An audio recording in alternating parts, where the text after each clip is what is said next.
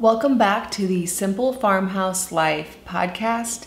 Today I'm going to talk about what I am making right now, what I'm cooking in my kitchen during these late summer months, or as I like to call them, midsummer. I feel like we have a solid two months of warm or hot weather, at least here where I live. And I'm really embracing that, even though it seems like everybody starts talking about fall on the 1st of August, but it is still squarely in the middle of summer here. And so because of that, cooking is a little bit different than other times of the year. We have abundant vegetables available to us no matter if you have a garden or you don't. Uh, it's all in season. That does definitely influence what I cook. I also put together a little grocery haul, so I'm just gonna go through all of the things that I buy, where I buy them, where I'm currently sourcing them. It changes from time to time, so an updated version of a grocery haul. Real quick before I jump into those topics, I did want to talk about a brand new book that I now have out. I talk a lot about cooking from scratch on my channel and on my podcast and my blog. A lot of you are new in that journey or looking for inspiration for just some new ideas. And so I am coming out now with some seasonal meal plans. I plan to make four of them. This is my first one. It's a four week meal plan. It, it has grocery lists for each week of the month. It has some basic recipes for things like breads and rolls and condiments like mayo and dressings and things like that.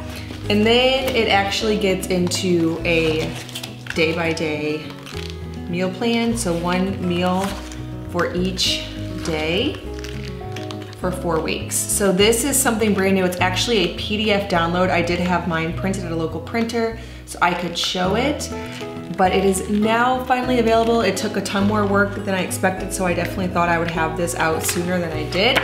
And I'm going to start working on the next one. But you can find this over at bit.ly forward slash farmhouse meal plan book. All right, first let's talk about what I am making right now seasonally. This is my favorite time of the year to cook. Whenever I think about summer from winter, I am just longing for all of the fresh vegetables and herbs and being able to go out and grab something fresh, whether you have a small garden or no garden at all. If you just go to a weekly farmer's market, a lot of people also have neighbors and friends who are willing to share produce. So there are, if you keep your eyes out, maybe on roadside stands or wherever, there is always something fresh this time of year. And I love to utilize all of that. So the first thing I'm making a ton of is salsas. Lots of salsa, so much. So for a tomato-based traditional type of salsa, some people call this more of a pico de gallo. I use tomatoes from the garden, onions, maybe some jalapenos if the kids aren't going to eat it, fresh garlic minced, some lime juice and salt and pepper and just stir it all up. Now the longer it sits in the fridge, the better, well to an extent. A few days in the fridge does make the taste develop and taste a little bit better. It's also really good fresh. I also do like to add in some fresh cilantro. Now where I live, cilantro is more of a cooler, earlier thing, herb that is no longer really available. Now if you plant it in the shade, I believe it'll go a lot longer mine bolts really quickly. And so I just purchased cilantro from the grocery store. Another salsa that I'm making that we are loving is a cucumber mango salsa. This is something that I made several years ago but kind of forgot about for a really long time. Essentially, you just peel some cucumbers, dice them, dice mangoes and jalapenos and onions and add some lime juice and mix it all up and it's a really beautiful salsa the way that the sweetness of the mango complements the cucumber. I don't know about you, but we have so many cucumbers right now. I'm kind of over them, honestly. But this salsa does really help to use them up. Another thing we're doing is pickles. Now one way I like to make pickles is by fermenting them in a salt brine. Basically you just cut up some cucumbers, add dill and garlic, and then make a brine. I like to use four tablespoons of salt to a half gallon jar of water. So I'll just dissolve the salt in a little bit of hot water, then dilute it to half gallon and then use that brine to ferment my vegetables. Let it sit out for a few days. It'll get sort of a fermented taste, so a little bit pickly. That's really great. Another good option is just refrigerator pickles. So equal parts water and vinegar, a little bit of honey and salt. Add that to a jar that's packed with sliced cucumbers, good dill, and garlic. That's really good. My kids have really been loving it.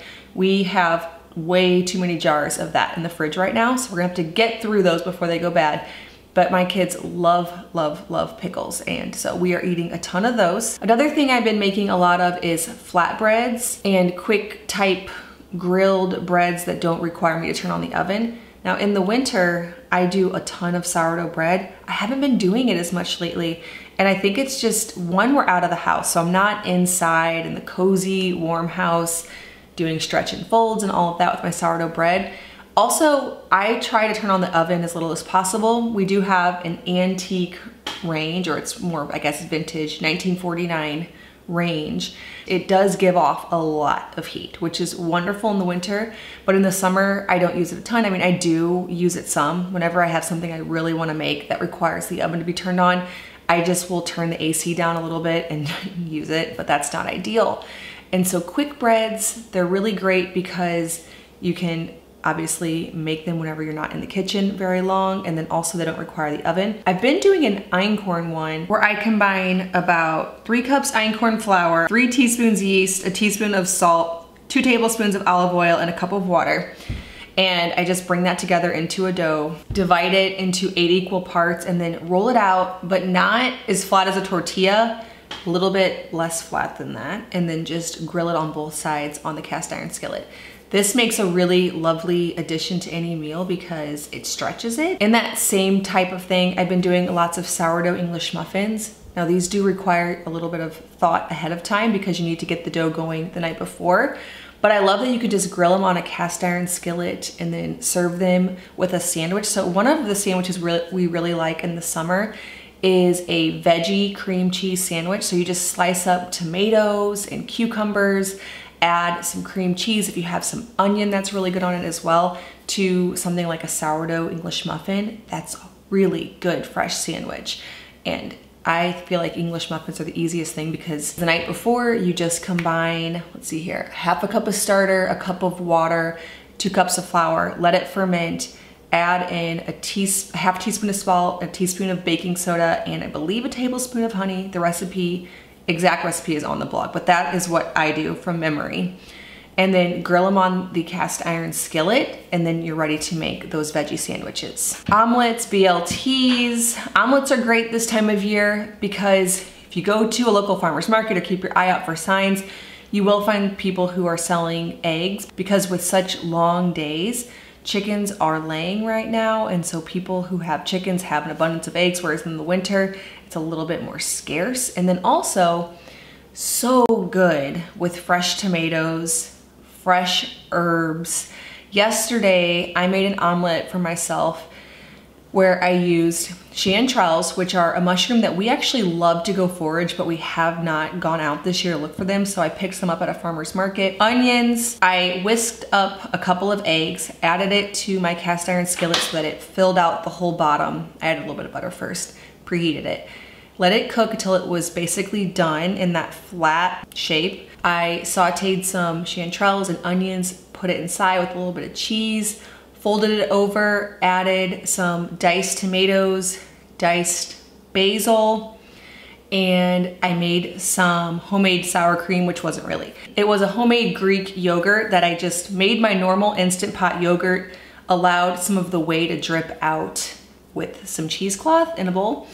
And then I used that as sour cream. So I just put that on top. It was so delicious. It was like summer on a dish. For the BLTs, my newest favorite thing to do, which if, if you watch my YouTube channel, you've seen me do this already, is make cheddar waffles. So I make my normal sourdough waffle recipe, which is two cups of starter, two eggs, four or five tablespoons of oil, a tablespoon of honey, half a teaspoon of salt and a teaspoon of baking soda, I believe, and a cup of cheddar cheese. Cook that in a waffle iron and it makes the most toasty, delicious bread. You wanna make sure to cook it a little bit extra so that it gets really crispy, but it is the best little vessel for a fresh BLT, which in the summertime with all the tomatoes, BLTs are always a good idea. We've been doing them constantly lately. Made some little homemade mayo to put on top of it. Super easy meal that is ready really quickly. Lots of skillet dinners. Now for that, like yesterday I made one where I diced sweet potatoes, I added sausage, a little bit of diced zucchini, onion. I sauteed all the vegetables, browned the sausage, added some fresh sage, and then I actually topped it with some eggs and baked it more like a hash. You can top it with shredded cheese. You can put any veggies you have. You can do ground beef, ground pork, sausage, any meat you have. And those skillet dinners are great because you can make so many different combinations of them. So you don't feel like you're having the same thing over and over again, but it's a nice one pot dish that you can whip up really quickly. Okay, another thing we've been loving is pizza. I just said that I don't turn the oven on. Well, I actually totally do when it comes to pizza because roasted tomato pizza is the best. So first I make my sourdough crust, which basically I just preheat a bunch of cast iron skillets, add sourdough starter. It bakes almost instantly upon hitting that hot cast iron skillet, drizzle it with a little bit of olive oil, salt, pop it back in the oven for about five or 10 minutes. It comes out of the cast iron skillet really easily. Meanwhile, I slice up some tomatoes really thin, layer them in a, an even layer on a baking sheet now I like to put down parchment paper just to make the mess a little bit easier to clean up. Drizzle with olive oil and then roast them in a really hot oven with some salt, pepper, and they come out all caramelized. And then I layer those into the sourdough pizza crust, drizzle with olive oil, add some fresh basil, mozzarella, so good. So just instead of a sauce, we do the roasted tomatoes and this is something that we do all summer long, getting as much tomatoes eaten as possible. I've also been making a homemade pasta sauce, which I just cut up some tomatoes. I do not peel them. Add basil, rosemary, thyme, sage, whatever herbs I can gather from the garden, onions, garlic, and then just let it simmer for a while. Add some salt and pepper, maybe a dash of honey or sugar, and then hit it with an immersion blender and serve that over pasta. Another thing I've been making a lot of is gnocchi. This is a potato-based pasta. I do have the recipe over on the blog. The flour component in it is einkorn. It's some cheese, baked potato, einkorn, eggs, salt, pepper, combined, sliced, boiled. And the reason I've been loving it is it's sort of like pasta, but a lot easier to make. And then I can toss it with something like basil pesto. And we have so much basil. I always feel bad every year because I never get out there and really preserve it like I should. We just try to eat as much of it as possible during the season while it's fresh and pesto is the best way to do that. I do have the recipe, all the exact amounts for the gnocchi and the pesto over on farmhouseonboone.com if you search it there. But if you serve that with some either sausage or some grilled chicken, maybe some diced peppers, some diced fresh tomatoes, man, I think I wanna make that for lunch now. so, so good so fresh and it utilizes all of what summer has to offer. Okay, so those are some of my favorite things that I'm making right now in my kitchen. Let's dive into grocery sources and where I get everything. So first up on the list, I have pantry. Now almost everything in the pantry comes from Thrive Market and Aldi. So I just made a little list here so that I could share with you where it's all coming from.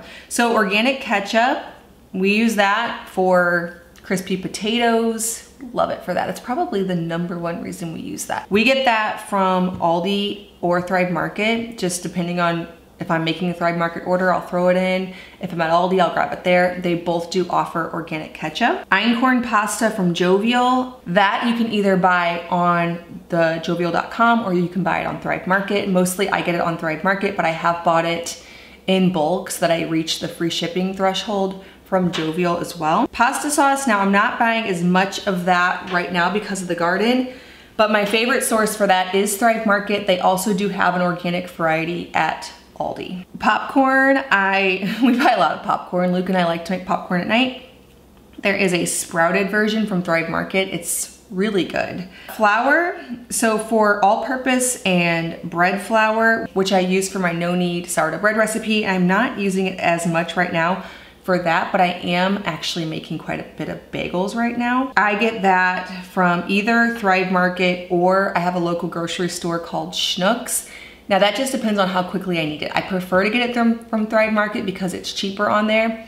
But if I've run out and I really want it for bagels because it does just make a lighter, fluffier bagel than freshly ground, then I will run and get it at my local store, Schnucks. They don't sell that brand that I like at Aldi and it is really expensive. So like I said, I prefer to buy it from Thrive Market. So when I do, I buy several bags at once. Einkorn flour, I get that off Thrive Market. Um, I also do, which I'm gonna go into the grain section, get bulk einkorn berries. But for an all-purpose einkorn flour, I get that from Thrive Market. They have the best price. I don't think anywhere locally actually even sells all-purpose einkorn flour at all. No, I haven't checked Walmart. I wonder if they do. But I just, at the moment, grab that off Thrive Market. Oils, those come from Thrive Market and Aldi. Olive oil, um, I actually have one I like from both companies. And so I'll just, depending on where I'm getting groceries at that time, will order avocado oil. I know almost always get from Aldi. And then organic coffee, again, Aldi and Thrive Market both have kinds that I like. I like a medium roast organic coffee and they both do offer that. Tortilla chips, we do a lot of tortilla chips. Aldi has an organic variety that we really love, thankfully. Because right now, another thing I forgot to mention in my what we're making right now part is I have been loving making taco salad. So basically I will brown up some meat, some ground beef or sausage, put that on the table with lettuce, homemade salsa, sauerkraut, tortilla chips, shredded cheese. It's kind of like a smorgasbord of taco salad fixings, avocado. Sometimes I'll even do corn where I'll kind of grill a corn on my cast iron skillet and brown it a little bit with some butter. That just tastes really great. And so we do a lot of that. And then also with all the salsas I've been making, the other day when I got groceries from Aldi, I bought like five or six bags of organic tortilla chips and Luke's like, why so many chips? I'm like, well, we have so much salsa. This is a great way to eat up fresh vegetables. And so we are eating more of those right now than any other time of the year. Peanut butter, there's an organic version at Thrive Market and Aldi. Dried fruit, mostly Thrive Market. There are a few dried fruits I can get at Aldi but they don't always have the organic varieties that I like. And then a lot of them also have additional sugar. Nuts, Aldi and Thrive Market. Now, I'm not going through as many nuts right now as I do in the winter. In the winter time, I make more granolas and I'll top like a sweet potato dish with nuts. Right now, I just haven't been doing that as much, but I do get walnuts, and pecans for that. Coconut aminos I get on Thrive Market. That's another thing I like to make is cook some rice, meat, veggies, toss it with that coconut aminos and some fried eggs, make a little fried rice type of dish. I always will keep that on hand in my pantry and I could find it, I believe it might be at Schnucks, but anything specialty like that, or what at least for my area would be specialty, is really expensive at a store like that. Maple syrup I get from Thrive Market and I believe that was all I wrote down for my pantry section. Now supplements, right now because I am 28 weeks pregnant, I am taking iron and vitamin C. Now I, I actually ran out of prenatal so I've only been focusing really lately on iron and vitamin C. I take the vitamin code vitamin C. I've been getting this Ferrofood. Now this I got from a different website. I believe the Standard Process website. Um, and then this I got from Thrive Market. I also get magnesium from Thrive Market. And then I've been taking a tablespoon a day of bee pollen for copper that I get from Thrive Market. All right, down to vegetables and fruits. This again varies by season based on what I will purchase and what's available. So right now, the primary sources for fruits and vegetables are garden, farmer's market, friends and family. So for example, the other day, a family member of mine said that she has rows of blackberries and they were not keeping up with it. And this is what happens in the summer if you just sort of dig around, ask around. People often plant, including, this is including myself, ambitious gardens and then life is still going on. You kind of almost expect life to stop in the summer, but it's still going on and so there's not always all of this time to preserve like you think. And before you know it, you're just happy if the vegetables and fruits get eaten regardless of who eats them. So we went and picked blackberries at her house. So now I have bags of frozen blackberries. So every smoothie, I actually have a blender sitting right here, is now a blackberry smoothie for a little while. And then in our garden, we are overflowing with tomatoes primarily and herbs. We do have peppers. Well, we were overflowing with cucumbers. Those are starting to trail off a bit. The peppers, it's more like just the amount to keep up with, but tomatoes are very much in abundance to the point where I'm gonna have to be giving them to friends and family just so I feel like they get used up. And also I might throw some to the chickens as well. I actually need to go out to the garden today and pick anything that we didn't get to in time that's rotted and give that all to the chicken so that it ultimately does turn into eggs for us. And then farmer's market, I've been getting a lot of things that I didn't grow over there. Anything that I can get there, I will. And then I go to Aldi for everything else. So things like frozen berries, I almost year round am purchasing from there. Now right now, a little bit of a lull because of all the blackberries, but then I'll be back to purchasing those there again. I always get avocados from there. Most of the time onions and potatoes right now, those are coming from local sources. We always get bananas. They obviously can't be grown locally, but we always have them. And usually when I buy bananas, I buy about 10 pounds a week. I let them ripen for a few days and then I peel them, cut them in half and put them in a Ziploc bag and freeze them.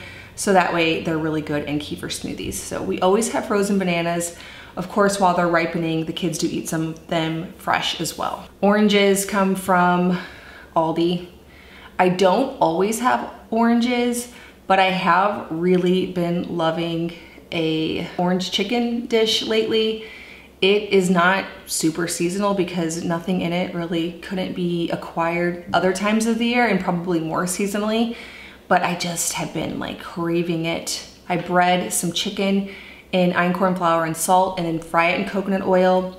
Cook rice separately and then I make a sauce of freshly squeezed orange juice, coconut aminos, vinegar, maple syrup. It is so good. It's a labor of love. It's one of those dishes that isn't easy. You are gonna be in the kitchen a while, but sometimes I'm just craving it and I'm like, I have an extra hour, I'm just gonna do this. Honey comes from farmer's market and Amish right now. Now we have an Amish community somewhat close, but I'm actually willing to pay a premium for some of the shops around here that actually go to the farm and then sell their honey at more of a retail price versus a wholesale price. We used to, when we lived a little bit closer, would make regular trips up to the Amish community and purchase it all there. But right now I'm just finding the same honey, but in shops around here and it's a lot more expensive. Well, not a lot more expensive, but definitely worth it to not have to drive out there. And then I also grabbed some honey at the farmer's market the other day from a local beekeeper. So I have kind of both sources, but I love keeping honey on hand, like a lot of honey for baking, topping uh, sourdough pancakes and waffles. Now we do also buy maple syrup, but I like to use honey more often than the maple syrup because it's local, so it's really good for you. And then also it's cheaper as well. For grains and beans, these sources vary. Sorry, I'm a little bit out of breath. I actually paused the video to go milk the cow and now I'm back in. The best source right now, Mockmill still does have einkorn berries in 50 pound bags. During 2020, they were often out of stock. So if you go to bit.ly forward slash einkornberries, I made that link so that you could purchase, uh, so you could easily find einkorn berries. I also sometimes get them from clnf.org, that's Country Life Natural Foods. Now you can put together a co-op in your area so that you can get free shipping, like a truck delivery if you order a certain amount, or if you're a large family, you might just meet that yourself.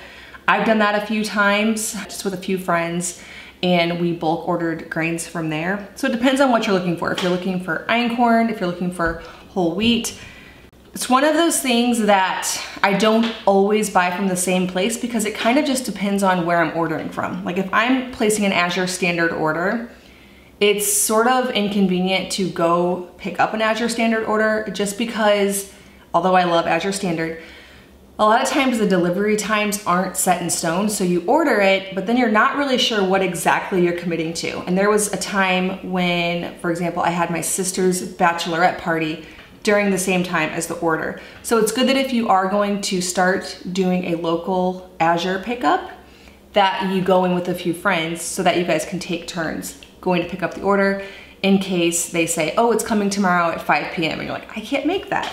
So we did work it out. I worked it out with somebody who was also getting something there. But they do sell bulk grains. I also do get some animal feed from Azure Standard. I get minerals and then some of the feed for the goats, which I'm actually not giving the goats grain right now because they're not in milk. I'm just giving them hay and then they're foraging in the woods as well. Non-bulk, I actually just got an email from Jovial. They're having a sale on their boxes, their smaller boxes of grains. Now I wouldn't probably purchase that if you have a grain mill and you're wanting to make your own flour, but if you wanna use einkorn berries for like a cereal or something like that, because it is such a smaller amount. Or if you just wanna try it. Oatmeal I just buy from Aldi. It's the cheapest price. I cannot find a bulk source that's cheaper. Beans, Aldi, rice, I like the Thrive Market brand for that. Dairy, this has changed recently obviously because I now have a dairy cow who is freshened, so she has milk. I am now getting all my raw milk from home. I used to get it from a local farm, but I've just stopped that. I've just been in such a habit of making my Instant Pot yogurt that I just, instead of making and shifting over to a different culture, I've been straining off the whey with cheesecloth and just using that for sour cream. Cheeses, I did try making cheese once, it was fine, but um, I'm not getting, I was getting more milk and now I need to troubleshoot why I'm not but I'm not getting enough milk to be making cheese. Those I get mostly from Aldi, but when I'm doing an Azure order, I always order. They have a huge block of raw cheese that I really like to get from there. Okay, meat. I have several sources.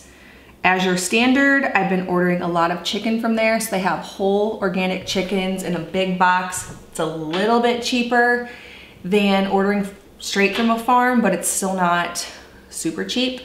Chicken breasts, and then I also order quite a bit from Fed from the Farm. I've talked about them before. I actually just placed a big order of a bunch of bacon and sausage because I also get half a hog. I, I should be getting it, a call any day that's getting processed right now from one of my friends locally. But there's never enough bacon and sausage. There just isn't. I love using sausage and eggs in lunch and dinner, not just breakfast. Same with bacon, especially with all of our BLTs. So I've also just ordered some sausage and bacon separately from there. I've ordered beef from my sister. I've ordered beef from another local farmer. That always kind of changes. One place I do always often fill in the gaps is Aldi does have a grass-fed organic beef, ground beef that I buy regularly because it's really cheap. And if I'm out of ground beef because we use more ground beef than anything else. Just with the kids, it's just the easiest thing. Just looked over and saw coconut oil. Forgot to mention coconut oil. I get that from the Amish, at least for a while. I bought so much last time I went that I haven't purchased coconut oil in over a year. So I'll revisit that source whenever that runs out. But for now, we're good there. And then I forgot to mention yogurt and kefir. I make those, always have, super easy to just make that yourself. All recipes over on farmhouseonboone.com.